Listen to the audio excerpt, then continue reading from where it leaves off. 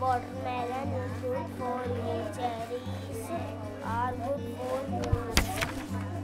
Grapes are good for you. Alexa, last could only third winner